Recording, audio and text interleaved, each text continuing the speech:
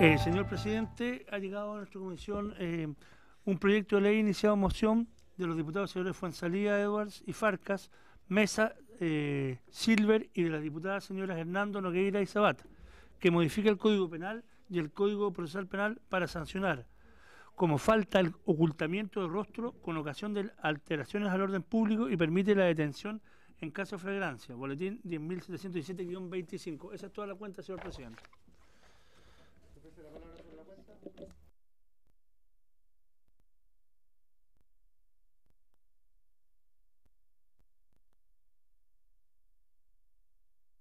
De los señores Falta Daniel, Francisco Gonzalo y diputada Nogueira Doña Claudia, que modifica el decreto ley número 821 de 1925 que establece la libertad condicional para los plenados en materia de requisitos para su coronamiento.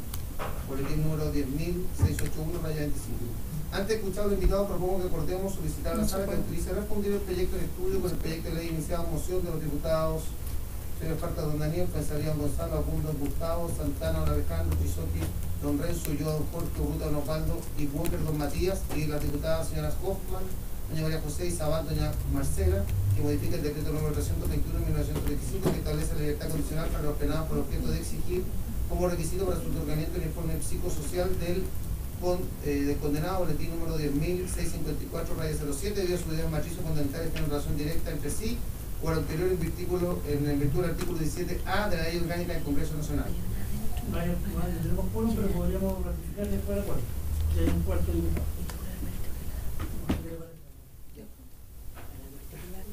Un acuerdo Ya, Se encuentran invitadas las siguientes personas, el fiscal nacional del Ministerio Público, señor Jorge Charme, se puso a asistir por no estar en el país, se concurre su calidad de fiscal nacional subrogante, el fiscal Andrés el fiscal de regional metropolitano de Centro Norte, señor Andrés Montes Cruz, junto al abogado de la unidad de jurídica de la Fiscalía Nacional, señor Roberto Morales, el director nacional de Gendarmería, señor Julio Arce Araya.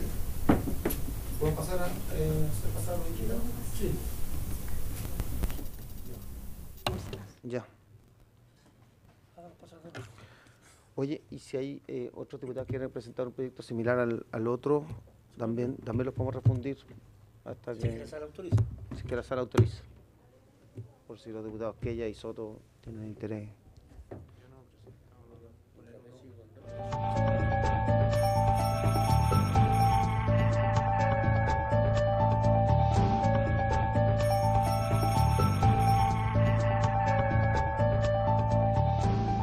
Bueno, le damos la bienvenida a nuestros eh, invitados. Como ustedes saben, estamos en el eh, proyecto de ley iniciado en moción parlamentaria relacionado con la libertad condicional y eh, en función de ello nos parece muy importante eh, recibir la opinión de ustedes. En el primer término me gustaría ofrecer la palabra al señor fiscal nacional subrogante del Ministerio Público, don Andrés Montes, y por supuesto sus asesores que lo acompañan. Por favor, pase a sentarse adelante. Don Francisco Geise. Así es, gran, gran, amigo. Siempre estamos en desacuerdo, pero un gran amigo. eh, no, lo quiero mucho. Lo quiero mucho. Habla muy bien de él, sí. Perdón, don Andrés, fue una... Eh, Gracias, señor presidente.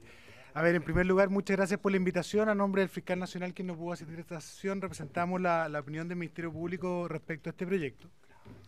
Eh, en primer lugar, destacar que, eh, haciendo una breve referencia a lo que ha sido la implementación de la reforma procesal penal, probablemente la más significativa y estructural modificación que se ha hecho en el sistema de justicia penal, se avanzó sustancialmente en algunos temas, básicamente en, lograr mayores estándares de transparencia, de celeridad en las decisiones jurisdiccionales, en las investigaciones penales, pero todavía hay temas esenciales que están pendientes. Ya la Comisión conoce muy bien que uno de ellos es el Código Penal, que hoy día es urgente y necesario modificar y que establece rangos de pena eh, que hoy día son muy desproporcionados entre un delito y otro, Vemos, por ejemplo, situaciones de hurto que tienen la misma pena que el cohecho, lo cual es francamente inconsistente con un ordenamiento jurídico eh, del siglo XXI. Pero además eh, también establece rangos muy diferenciados de pena y esto tiene que ver con la forma de cumplimiento, que es lo que vamos a ver ahora. Y ese es el otro gran tema que está pendiente. Hoy día se ha avanzado mucho en lo que es el proceso penal y en lograr una decisión jurisdiccional, pero el tema de la ejecución de la sentencia penal eh, está entregada una legislación que es inorgánica, dispersa, poco sistemática. En efecto, hoy día tenemos desde el decreto ley 321, que es el que se propone modificar, hasta la ley 18.216, que fue modificada el, el, año 2012, que establece un régimen también de cumplimiento alternativo a la privación de libertad, incluso permite la interrupción de la pena privativa de libertad en el régimen de penas mixtas que entró en vigencia en el mes de septiembre y que ya Gendarmería ha venido implementando, una vez cumplido un tercio de la condena con una decisión jurisdiccional y bajo la modalidad de libertad vigilada intensiva, con monitoreo telemático, lo cual no, no hay que perder de vista. Y además hay otras normas que regulan, por ejemplo, la rebaja de pena. Es decir, un sistema que es un no sistema, absolutamente inorgánico, que tiene objetivos distintos, momentos distintos eh, y es muy inconsistente.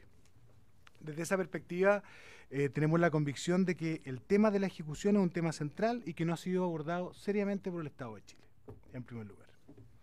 En segundo lugar, probablemente uno de los impactos más significativos de la reforma procesal penal tiene que ver con algo que probablemente va a relevar el director, y es que ha cambiado la configuración de la población eh, penitenciaria, intramuro. Hasta antes de la implementación de la reforma, normalmente era el 50% estaba esperando una sentencia, estaba en prisión preventiva y el otro 50% de la población penal estaba condenada. Hoy día, en promedio, estamos en una situación donde el 30% está en prisión preventiva y el 70% está cumpliendo una sentencia. Esto claramente es un, logro desde el punto de vista de, de los principios del Estado de Derecho, ya que las personas que están privadas de libertad lo hacen en cumplimiento de una sentencia. Luego, el objetivo es ver de qué forma el Estado cumple de la mejor forma, de mejor modo, el objetivo de, rehabilitar o resocializar a las personas. Y lo que nosotros entendemos que hoy día no hay, en general, salvo esfuerzos que son aislados y todo, mecanismos sistemáticos y, y con una amplia cobertura que permitan lograr esos objetivos. Eh, un tema sobre el cual se puede hablar y que probablemente tiene que ver con la, con la ejecución de la sentencia.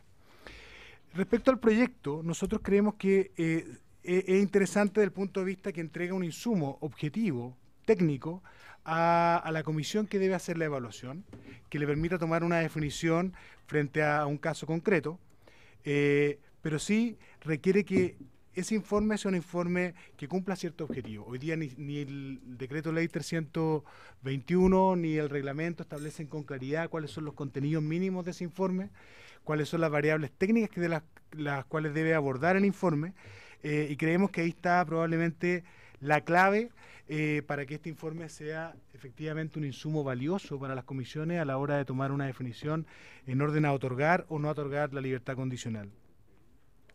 Vuelvo al tema de la, de la, de la ley 18.216 que fue modificada por la ley 20.603, donde al generar la pena mixta, se estableció un criterio bien específico respecto al contenido del informe. Y eh, hoy día podemos ver, por ejemplo, que en ese cuerpo normativo se establece con claridad que el informe debe hacerse cargo de una serie de variables eh, que son bien interesantes y que a lo mejor sería necesario recoger. Desde luego, eh, la opinión técnica debe ser favorable por parte de Gendarmería, que es quien debe proveer ese informe. En segundo lugar, debe hacerse eh, cargo de los factores de, eh, de riesgo de reincidencia, tema importante. Además, debe considerar los antecedentes sociales, las características de personalidad del condenado y una propuesta de plan de intervención. Porque ¿cuál es el gran problema de la libertad condicional? Y esto también lo podrá explicar el director. Las personas recuperan la libertad, pero no tienen ninguna herramienta para reinsertarse socialmente. Normalmente no va a haber ningún acompañamiento a la hora de buscar una fuente laboral. Eh, y eso sin duda lo hace muy, muy, muy difícil la reinserción. Y el Estado no está cumpliendo seriamente la labor de reinsertar a, quien ha sido condenado por un delito ahí. Eh, y creemos que muchas veces, al no darle ninguna herramienta para que se pueda efectivamente tener una fuente laboral, eh, eh, eh, generar redes sociales, muchas veces el propio sistema lo induce de algún modo a reincidir en, algún tipo de delito. Sin embargo, todos los estudios que hay en Chile coinciden en que las personas que han tenido que han accedido a la libertad condicional tienen menor reincidencia que aquellos que han cumplido íntegramente la pena. ¿ya? Lo cual da cuenta de que probablemente el peor de los el peor de los de, las formas de cumplimiento el cumplimiento íntegro en régimen eh, penitenciario. Ahora, eh, en, en, este punto de vista, desde este punto de vista queremos señalar, solo para ir cerrando, que el, el proyecto apunta en un sentido correcto, se superpone a otro proyecto que hoy día está en el Senado, que, es más amplio, que cubre otros aspectos también de la libertad condicional, que es un tema que hay que revisar. Sin embargo, creemos que hay que hacer un esfuerzo más sistemático por revisar todas las normas que hoy día inciden en la ejecución de la, de la sentencia, con el objeto de crear un, un, cuerpo normativo orgánico, sistemático, coherente, que hoy día no tenemos. Pero también se haga cargo del tema de fondo.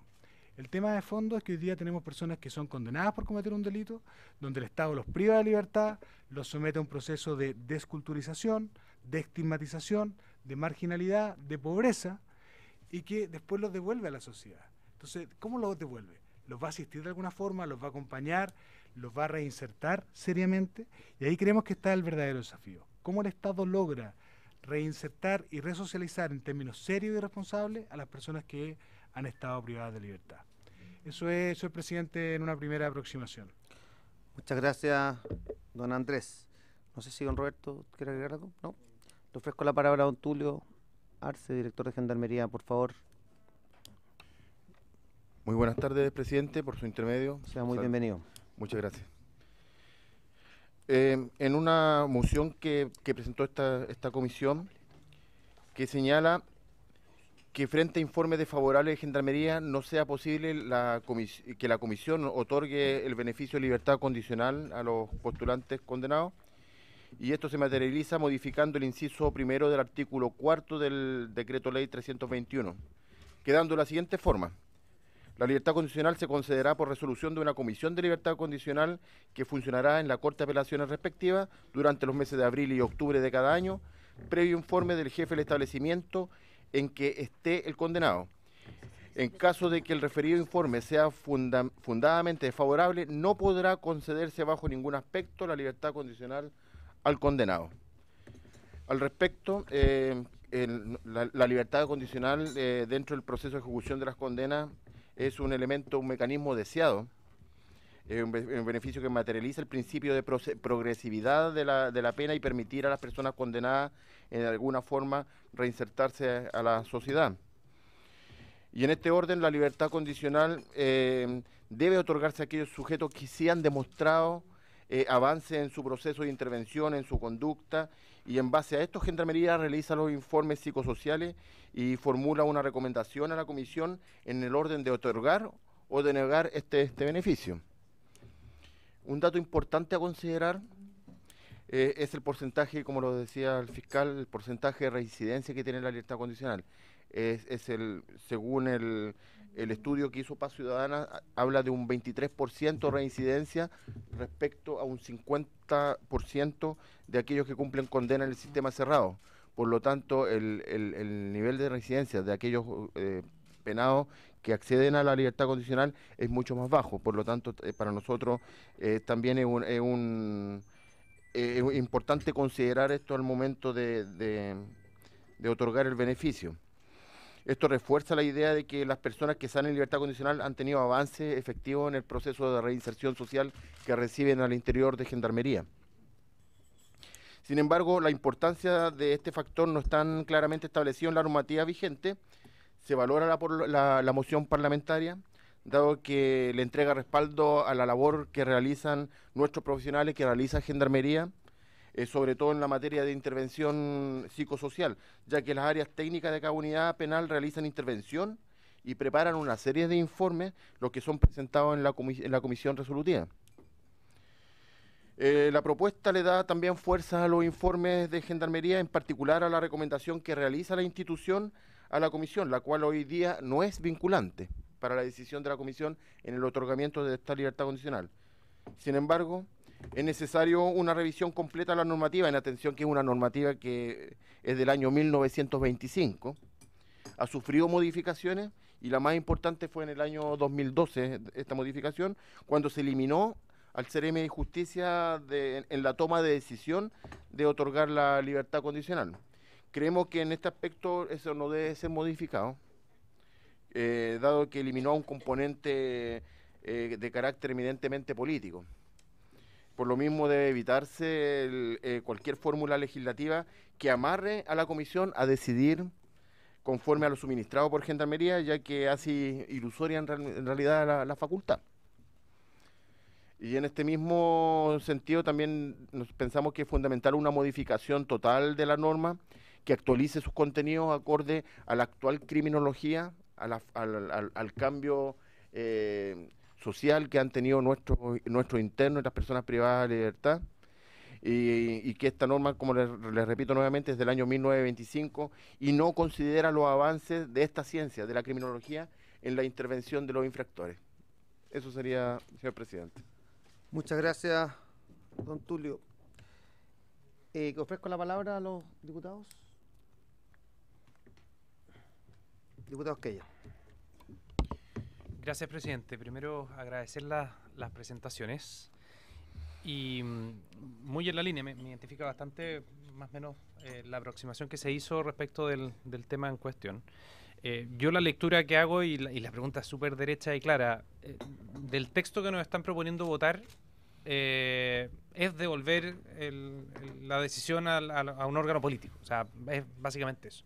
Por mucho que se diga, mire, va a haber un informe, al final del día Gendarmería es un órgano que depende del Ejecutivo, las razones políticas van a, van a tener el peso suficiente en el fondo para que eh, eh, la característica técnica o la aproximación a si es que la persona efectivamente está en condiciones de reinsertarse o no, pasen a quinto plano. Eso, es- esa es la lectura que yo hago y si es que estuviera equivocado o alguien piensa que sería súper bueno para cambiar el, la manera de, ver cómo vamos a votar. En el, en el caso de la libertad condicional, en los datos que se, que se dan, ¿existirá alguna información que nos permita aislar? A ver si me explico. eh, aislar el hecho de que las personas que reinciden menos, que están con libertad condicional, lo están haciendo porque están sujetas a perder el beneficio. Es decir, reinciden una vez que ya cumplieron la condena y no tienen, no están sujetos, digamos, a- al, al decreto 321. Ah, ¿Existirá ese dato o no? No sé si es que lo, lo tienen, porque sería una muy buena manera de saber si que efectivamente hubo algo de reinserción o no. En el último estudio de reincidencia tenemos ese dato. Yo, yo me da la impresión que los temas de reincidencia siempre están con algún factor que los confunde. Por ejemplo, Paz Ciudadana es re buena para decir, mire, eh, las penas sustitutivas son un gran elemento, yo así lo creo, eh, eh, pero, pero yo no creo tan relevante el dato de que cuando están con pena sustitutiva el nivel de reincidencia es muy bajo porque estamos hablando de que para que hubieran accedido a la pena sustitutiva tienen que ser primerizos.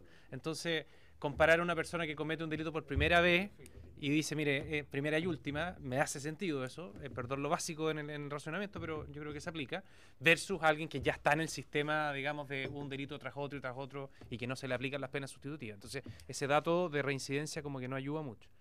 Eh, si es que tiene lo otro, volviendo al tema de libertad condicional, sería interesante saberlo, porque creo que el tema de fondo acá, y a eso quiero llegar, me da la impresión que no va a prosperar mucho este proyecto, con todo respeto, eh, Vamos a ver la votación, diputados. es el, el, el qué estamos haciendo para reinsertar a las personas. Eh, y eh, hasta ahí, digamos, no tenemos noticias porque hay que meterse la mano al bolsillo como Estado. Y hay que, hay que hacer eh, el trabajo en serio, como lo han hecho, digamos, en, en los países que muchas veces hemos puesto de ejemplo, principalmente en Europa, que hoy día ya no saben qué hacer con las cárceles, porque al final del día el trabajo lo han hecho tan bien que, que, que- que la delincuencia eh, o que, que merece, digamos, privación de libertad eh, parece que es tan baja. Bueno, ese es el comentario muy en general. eh, lamento que no esté el- la ministra de Justicia, porque nuevamente yo creo que sería bueno que supiera eh, que, que estamos esperando el proyecto que crea el Servicio Nacional de Reinserción Social. Eso es vital. O sea, hay que tomarse esto en serio, no únicamente con una política de justicia, que por cierto lo es, tiene que ver con justicia, pero si es que se quiere acceder a recursos, yo creo que lo tienen que asociar más bien a seguridad pública. Eh, usted, que tiene buena llegada en el gobierno podría transmitir, digamos, el mensaje. Lo haré, diputados Quella. Eh, quisiera interrumpir antes la palabra al diputado Soto, que hoy que vemos cuatro diputados, tomar el acuerdo refundir los proyectos, si están de acuerdo. ¿Cómo se leyó al principio? ¿Por los otros proyectos presentados? Refundir los proyectos. Sí. ¿Están de acuerdo? Se acuerdan. Disculpe. Diputado Soto tiene la palabra. Gracias, presidente. Saludar a nuestros invitados, fiscal Montes, don Tulio. Eh, yo coincido en gran parte con lo que ha dicho el diputado Esquella.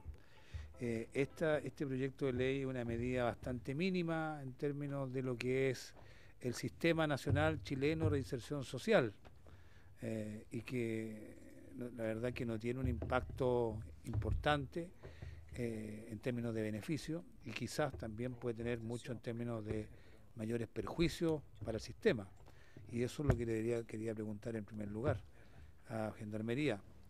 Eh, sin duda, volver al sistema anterior donde una autoridad política y no un, un tribunal el que resuelva las libertades, eh, eh, la evidencia nos, lleva a la conclusión de que probablemente van a haber menos libertades condicionales.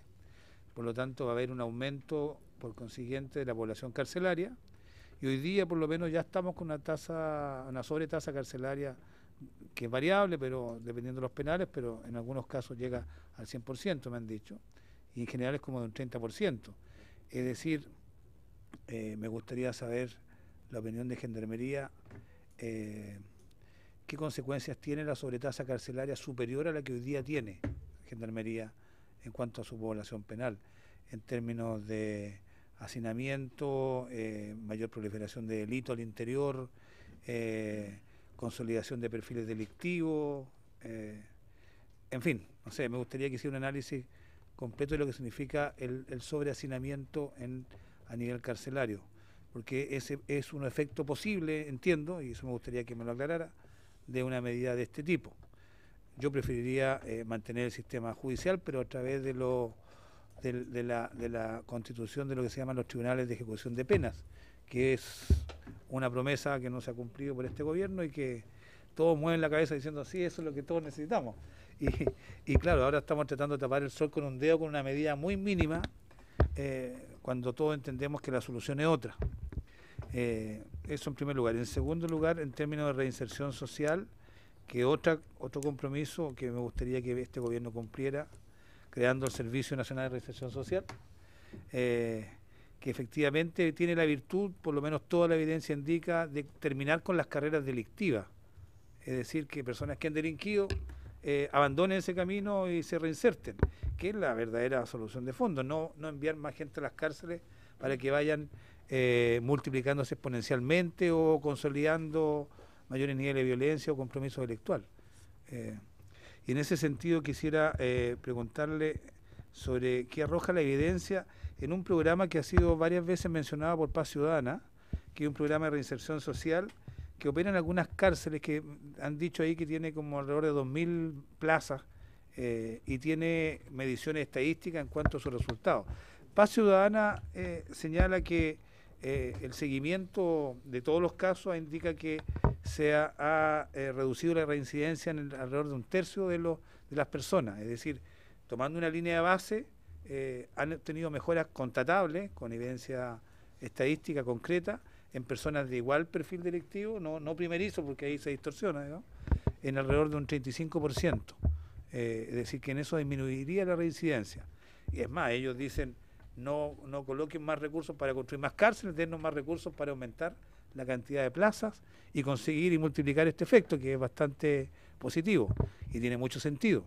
Pero me gustaría que Gendarmería no me diera su opinión sobre la posibilidad, eh, su opinión sobre cómo funciona ese programa, la posibilidad de ampliarlo realmente eh, y la evidencia que ustedes han recogido en términos de, de, mejorar eh, los índices de reducción de reincidencia. Eso, señor presidente, por ahora. Muchas gracias. diputado. No, yo solamente quisiera también tomar la palabra en agradecer, por supuesto, vuestra presencia. Y tengo una duda con respecto a, la, a las tasas de reincidencia, porque me pareció ver en el informe de Paz Ciudadana cual se hacía alusión en el año por lo menos 2011 que esa tasa era en el caso de las personas que eh, tenían libertad condicional de un 12,98% y eh, evidentemente lo que nos preocupa es, y por eso esta moción parlamentaria, es buscar la manera de que eh, la reincidencia sea la menor posible, porque obviamente tenemos ahí algunos elementos importantes. Lo otro de esta moción que yo creo que sí va a contribuir, y ahí me importa mucho la opinión tanto del fiscal como, como el director de Gendarmería, es que obviamente las personas que tengan una orden de detención pendiente no sean liberadas, con, no, se le otorgue la libertad condicional, porque parece un contrasentido que le estemos otorgando un beneficio a alguien que tiene otra, otra, otra orden de detención pendiente. Eso realmente, eh, si es que así, me gustaría que aclaráramos cómo ocurre y cómo, cómo podemos operar para que eso efectivamente quede zanjado. Eh, de, no ser así, obviamente retiro la pregunta, pero según lo que hemos escuchado por medio de prensa, habría alguna de esas personas que, que están en esa situación. Y por supuesto hacerme cargo de lo que han dicho los diputados Quella y, Leonardo Soto en el sentido de que evidentemente estamos todos buscando y esperando el eh, programa de nuestro gobierno, y yo me hago responsable de eso, diputado Esquella, de transmitirlo, de eh, la reinserción, porque obviamente eh, la, la- carrera delictual solamente es posible terminarla a pesar de todos los esfuerzos que hagan la Fiscalía y, y- y Gendarmería si tenemos una verdadera reinserción social. Yo creo que en eso coincidimos y evidentemente estamos a la, a la espera de eso. Pero en función de que tenemos este proyecto hoy día, que eh, yo coincido en que es una mirada de aspectos más bien normativos, ¿ah? pero que evidentemente, a mi juicio por lo menos sí va en el sentido correcto. Don Andrés. Sí, señor presidente. Eh, Bueno, el proyecto claramente va en el sentido correcto en orden a, darle a darle insumo objetivo a la comisión que defina la libertad condicional en orden a, definir si procede o no procede. Y eso nos parece siempre va a ser valioso. Ahora, creemos que la clave va a estar en, el tipo de información que se entregue a la comisión para tomar esa decisión. ¿ya? Eh, mientras de mejor calidad sea la información que se entrega a la comisión, de mejor calidad va a ser la decisión, por cierto. Y, y- desde esa perspectiva creemos que una variable que muchas veces se ha dejado de lado y que sí es importante, tiene que ver con, la, con el riesgo que implica para la víctima del delito la libertad temprana de la persona. Cuestión que no siempre ha sido considerada y hay algunos delitos donde es posible entender que, es un fenómeno complejo. Piénsese, por ejemplo, en, en el ámbito de los delitos sexuales, efectivamente, donde hay un riesgo mayor para la víctima y probablemente la libertad temprana de la persona le va a generar una serie de, de, aprehensiones que es necesario tratar. De hecho, con motivo de lo que ocurrió este año, el Ministerio Público formalmente pidió la lista al director de todas las personas que habían recibido la libertad condicional con el objeto de analizar la situación y ver si era posible detectar algunos casos donde hubiese que tomar alguna definición de protección respecto de algunas víctimas, básicamente. La variable de la víctima y la envergadura o entidad del delito nos parece que es un tema que eh, debiera considerarse también a la hora de tomar una definición como esta. Ahora, sin duda, el, eh, el tema clave va en la línea de definir cuál es la información que requiere la comisión para tomar la decisión.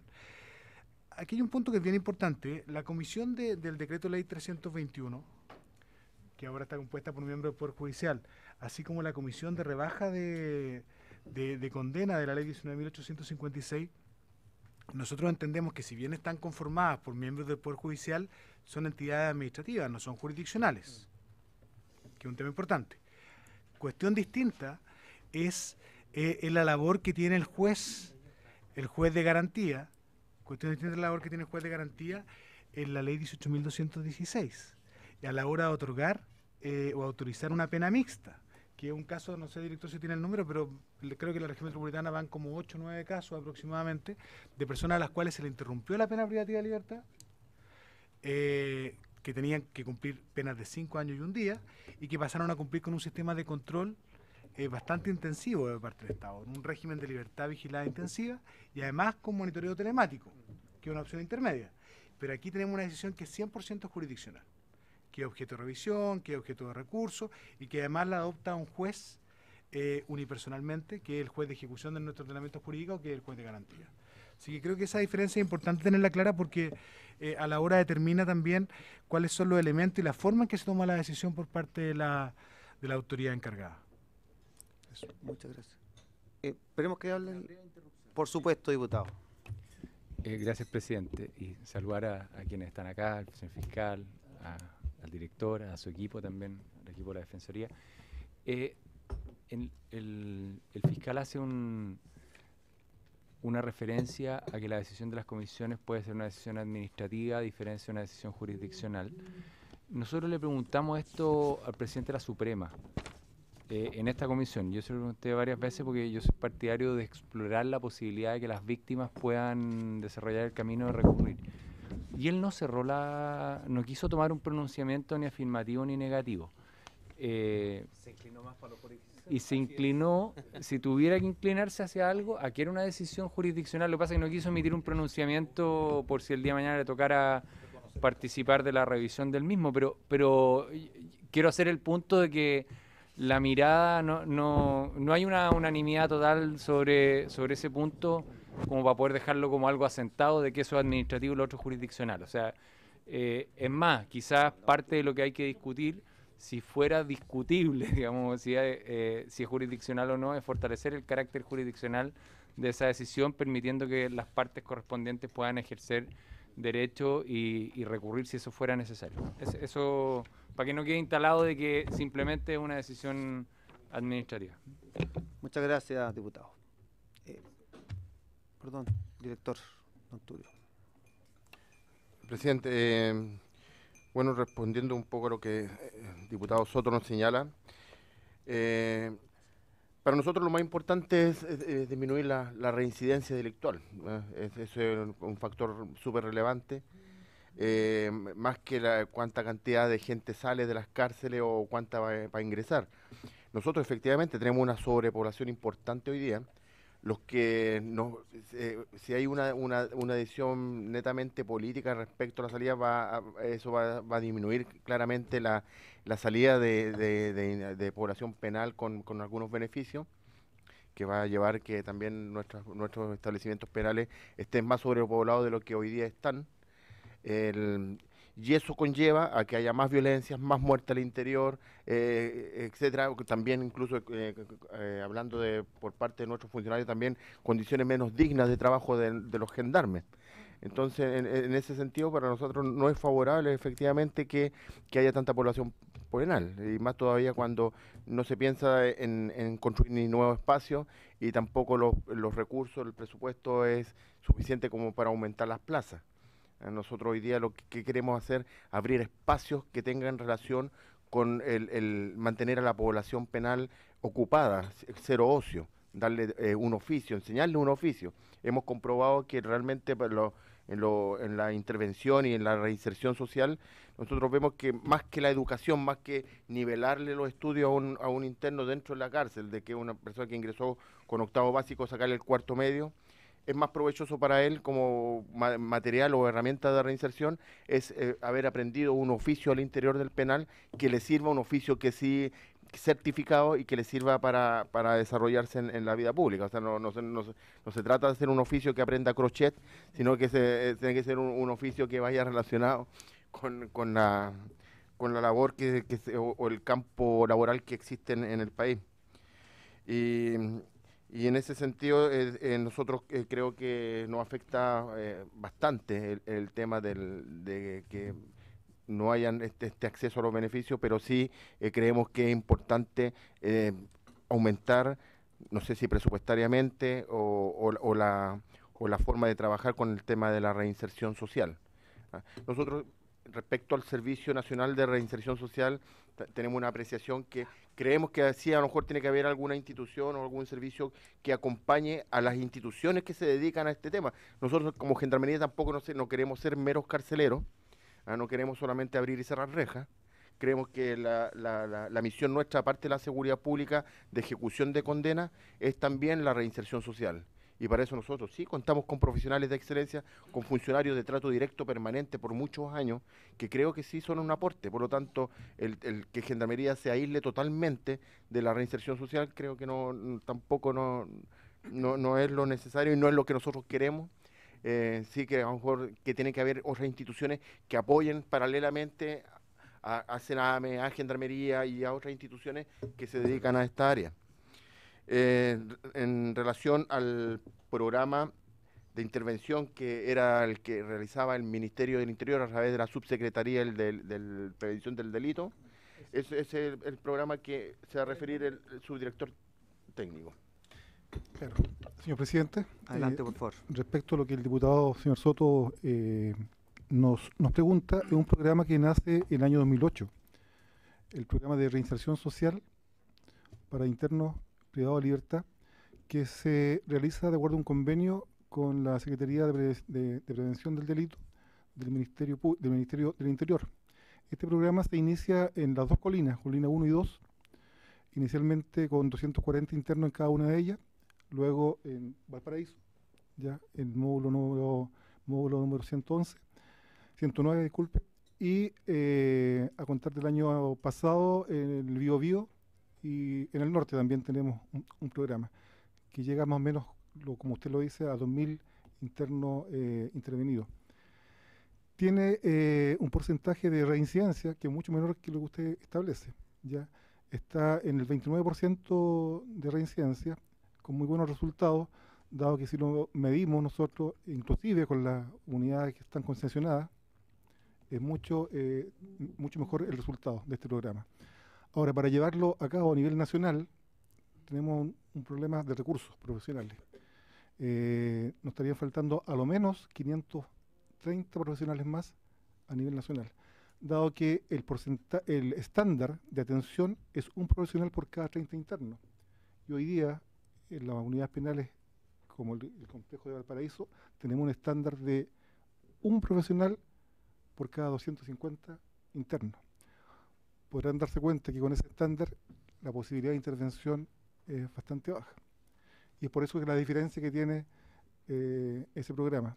Nosotros estamos trabajando desde hace poco tiempo y tenemos algunos avances respecto de la agenda corta, cómo va a impactar la Agenda María de Chile.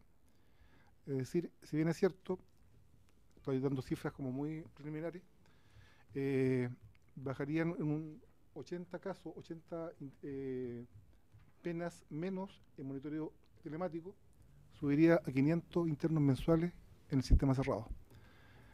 Eso va a implicar eh, que Gendarmería va a requerir una, un presupuesto adicional para poder enfrentar esta, esta cifra, eh, tanto en la seguridad como eh, en los programas de, de reinserción social. Son cifras que, que son preliminares, pero que yo creo que el impacto va a ser bastante fuerte. El programa es excelente y ojalá que pudiéramos tener los recursos para poder seguirlo expandiendo. Diputado Por supuesto. Con la libertad condicional o los otros beneficios carcelarios, ¿hay incentivo en ese sentido? ¿Cómo funciona? Es decir, los internos son eh, intervenidos por un, un- un equipo profesional que está compuesto por psicólogos, asistentes sociales, terapeutas ocupacionales, profesores de educación física y monitores de, de talleres que eh, enseñan un oficio. Eh, los internos, tal como cualquier otro interno, eh, tienen su proceso de, diagnóstico, luego la elaboración de un plan de intervención individual y dependiendo de ese plan es la oferta programática a la cual ellos acceden. Una vez que ellos ya están eh, pronto a cumplir su condena, dos años en adelante, o tienen su tiempo mínimo para postular a beneficio interpenitenciario y también pueden postular a la libertad condicional. Esta gente sale una vez que ya haya cumplido su plan de intervención. Ya está asociado a eso. Y es por eso que también eh, el impacto positivo que tiene la, la, la reincidencia, que es bastante menor. Eh, creemos que, que es una buena alternativa. Eh, y creemos también que con recursos podemos ir aumentando esos excelentes resultados. ¿Alguna otra pregunta? Eh, me gustaría ofrecer la palabra a don Francisco Geise. ¿Quiere decir algo? Solo respecto de lo que... perdón, funciona. Eh, por su intermedio, señor presidente, respecto de la pregunta del diputado Esquella que tenía que ver con la reincidencia, específicamente en la población que sí accede a la libertad condicional y la que no accede a ella. Eh, las cifras son conocidas, son las que dio Paz Ciudadana en su estudio, que dice que quienes acceden a la libertad condicional tienen un 23,4% de reincidencia y quienes no acceden a ella un 58%. Ese incluso repitió hoy día en la mañana Catalina Mertz ante la directora de Paz Ciudadana, ante la Comisión del Senado esta cifra. Ahora, eh, la pregunta es más concreta, ¿no es cierto? Eh, respecto, evidentemente son dos poblaciones distintas, una es más seleccionada que la otra, pero no tenemos que olvidar que eh, la inmensa mayoría de los delitos, las condenas, tienen acceso a la libertad condicional al cumplirse la mitad del periodo o los dos tercios del periodo. Es decir, no es que sea una población tan restringida o tan, tan seleccionada como es la que accede a las penas sustitutivas. Eso es lo primero. Y segundo, agregó Catalina Merz, una cosa que creo que es importante, que a nivel de los estudios internacionales, el sistema de libertad condicional está claramente demostrado que tiene eh, tasas de reincidencia menores. Eso... ¿Puedo hacer una precisión? Diputado Quella, por favor. Seguramente me, me expresé mal, porque el dato que me falta eh, por saber es si es que una vez que cumplieron la condena, hipotéticamente, aunque ya estén en el medio libre, si es que se tiene datos de la reincidencia a partir de que ya no tienen vínculo alguno con Gendarmería, si es que lo quiere ver así. Porque uno podría entender que ellos y que esa tasa de reincidencia es baja porque pierden el beneficio si es que los pillan. Sí, claro. Entonces, el dato es si, eh, para saber si que efectivamente se seleccionó de buena manera y se les dio el, beneficio a personas que en algo se habían rehabilitado. eh, El, el- el dato más puro, a mi juicio, sería eh, eh, el, el quitarles la amenaza, digamos, de que van a perder el beneficio, para saber si es que se reinsertaron en la sociedad. Y ese dato no sé si existe. ¿Usted parece que algo...? La señora Pamela Reigada tiene una respuesta para eso, la abogada. Por favor, por favor, pase. Y... Sí, está bien, pero con, la necesitamos con micrófono para, para que su cargo y nombre, por favor. ¿Y puede, puede apretar el botoncito? El negro, debajo del mismo micrófono. Ese. ¿No? Ahí. Eso. Ahí sí. Muy bien. Pamela Reigada, soy abogado, jefa del Departamento de Monitoreo Telemático, pero bueno, abogado de la institución hace casi 20 años. Eh, a la consulta del diputado es que ella señalar que las tasas de reincidencia se miden una vez que ha cumplido la condena del penado. Por lo tanto, no va a ser un incentivo ni un desincentivo antes del cumplimiento de la condena. Eh, Es un dato relevante solo para O sea, aclarar. ¿Y podemos aprovechar la presencia para preguntarle? Por supuesto, porque es súper importante. Lo que pasa es que el tema Venimos, de la venimos reincidencia... preparados. No, lo que pasa es que el tema de la reincidencia es súper importante para esta materia, pero no solamente por este proyecto. Sí, exacto. Perfecto. Los dos no, primeros años del cumplimiento de condena. Gran dato, porque Sí. entonces es, es puro, como Exacto. Eh, y, y tiene vinculación con, con la reinserción. Pero aprovechando que, que tiene a cargo el, el- el plan De monitoreo eh, telemático. exacto, si nos puede relatar, porque por versiones de la prensa se ha sabido que han habido ciertas dificultades. Podríamos, Sí. sé que no viene al caso, pero pero No, pero pero aprovechando... nos, nos es bastante útil tener información de primera fuente. Eh, bueno, pr- primero aunque no señal- venía preparada. Primero señalar en realidad que yo creo que pasa por un, un tema de desconocimiento de la comunidad toda respecto de cómo funciona el sistema. Nuestro director viene con una tubillera para exhibirla aquí a la comisión y para que puedan conocerla. Eh, eh, respecto de ello señalar que, que lo que aparece en prensa respecto del corte de energía eléctrica no afecta al sistema de monitoreo como, como lo señalamos. Podríamos hacer alguna prueba tal vez. ¿ah?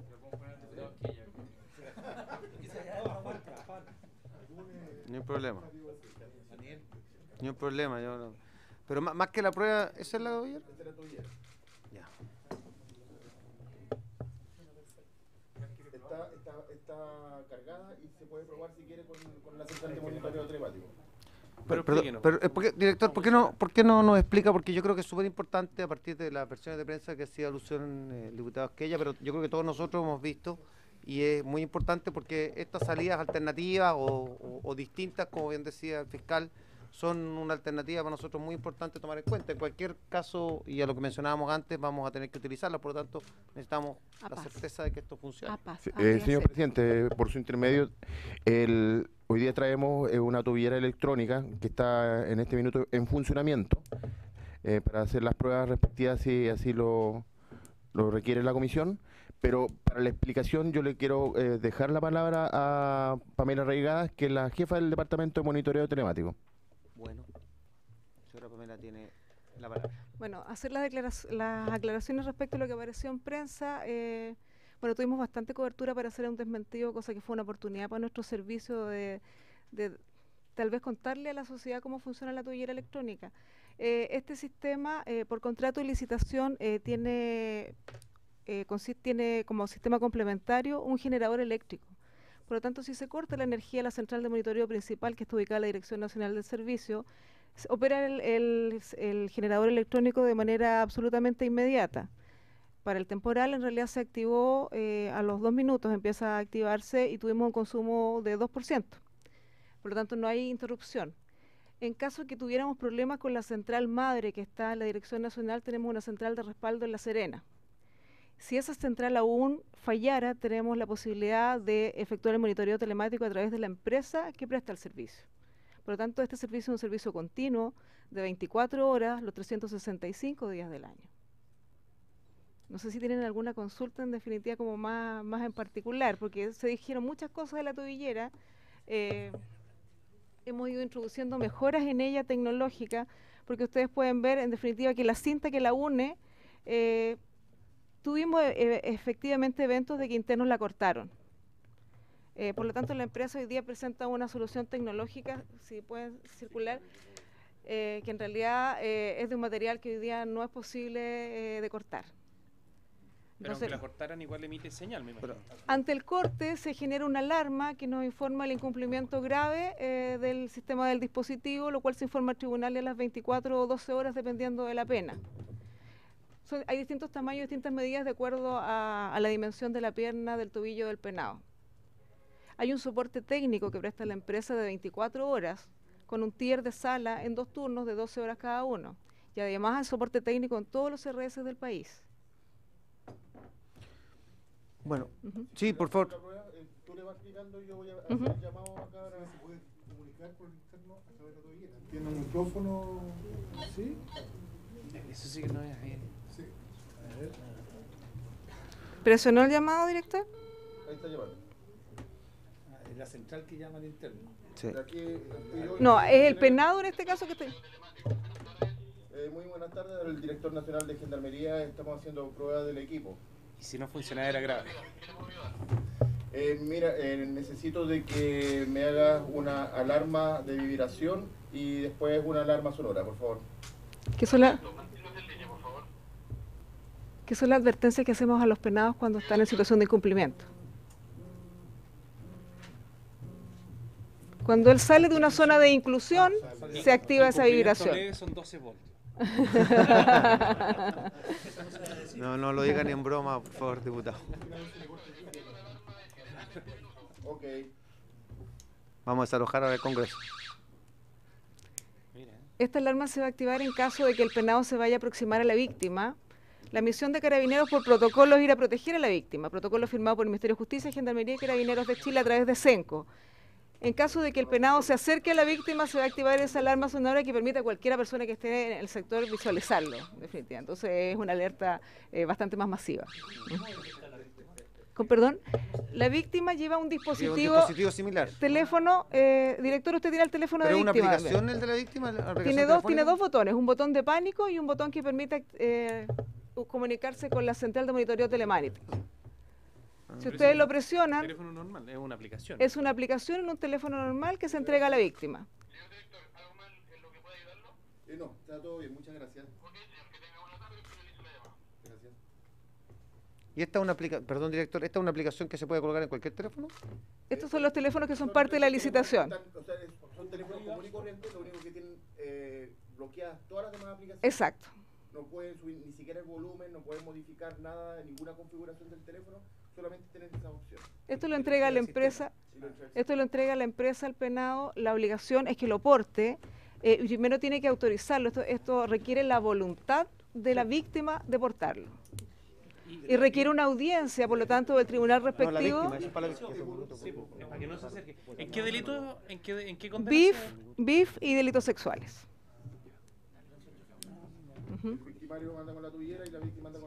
O sea, pensemos que hasta hoy día tenemos el control de carabinero a través de ronda y hoy día tenemos este sistema que en definitiva permite mayor seguridad a la víctima. Y para la reclusión parcial, es decir, que este aparato esté en una para un arresto domiciliario. en fin. Tobillera, diputado. tobilleros.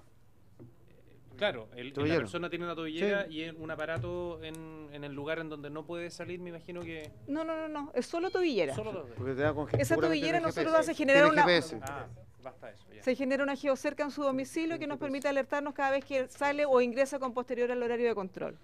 Bueno, y perdón. No, adelante, por favor. Y volviendo a nuestro proyecto y vinculándolo con esto, yo no sé si, perdón si es una aberración, señor defensor, pero eh, eh, no existe la manera de vincular la libertad, el beneficio de la libertad condicional con una, tomando digamos como base lo que es la reclusión parcial eh, en, en- la ley 18.216 o algo similar, eh, por ejemplo, digamos, eh, eh, con el uso de algún aparato de este tipo, en lo que es la libertad vigil intensiva. No sé, tratar, digamos, de, de buscar por esa vía el, el- el- el asegurarnos el cumplimiento de, de- eh, de que se, se lleve de buena forma el beneficio. Le pregunto al, al defensor porque sería quien tendría la, el grito en el cielo, si es que no lo... Bueno, si tiene buena conducta. A la defensoría más bien, más que al defensor. Puede ser, pero evidentemente como parte de lo que ya se señalaba por el fiscal nacional, de un programa de intervención. Es decir, si es parte de un programa de intervención y se aplica, por lo tanto, a los casos más graves o que se estima más graves o con características de riesgo mayores, sin duda podría ser. Ahora, quizás puedo agregar algo más que tiene que ver con, con este tema. Eh, yo creo que ustedes están enfrentados a una decisión legislativa bastante compleja, porque aquí, eh, como se señalaba hoy día en la mañana por parte del Ministerio de Justicia, lo que se busca es una legislación rápida. ¿Por qué? Porque viene la segunda tanda Sí. de la libertad condicional. ¿Eh? No, y, la, y Eh, perdón que lo interrumpa, pero además viene la rebaja de penas, que es otro tema. Pero ese es otro, ese es otro Sí, tema pero que está en la misma proyecto. que está la- eh, correcto.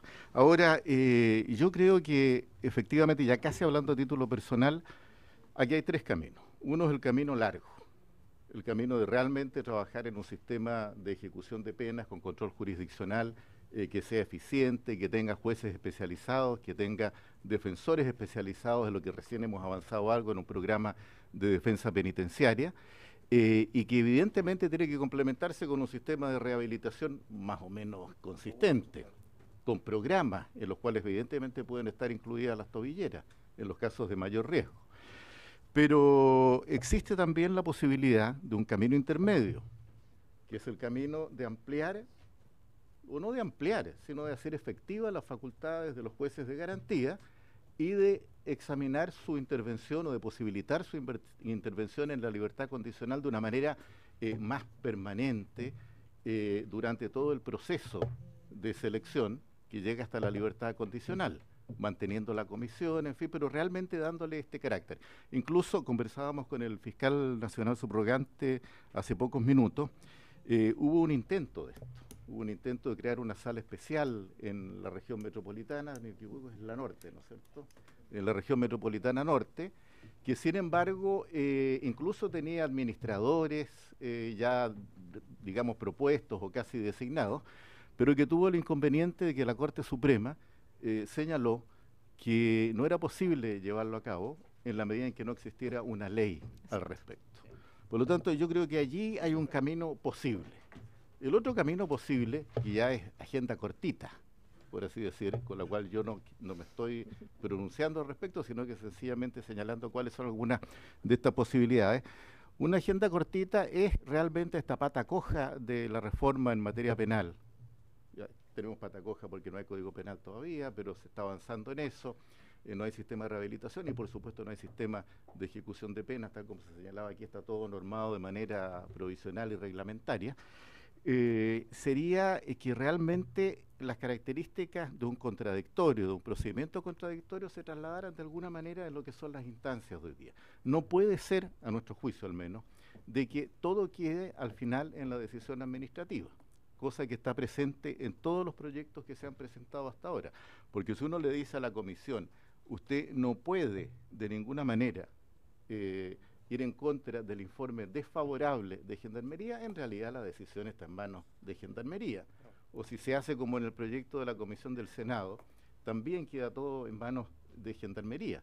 Nosotros creemos que tiene que haber un cierto control y por último ese control se puede expresar a través de la actual comisión, en el Tribunal de Conducta, pero con participación, en el caso nuestro de la Defensoría, creemos que a nivel del Tribunal de Conducta y de comisión, y creemos que de manera selectiva por parte del, creo en realidad, por parte del Ministerio Público en, el, en la comisión, cuando considere que se trata de casos en los cuales o bien la protección de la víctima o algún tipo de otra circunstancia lo amerita.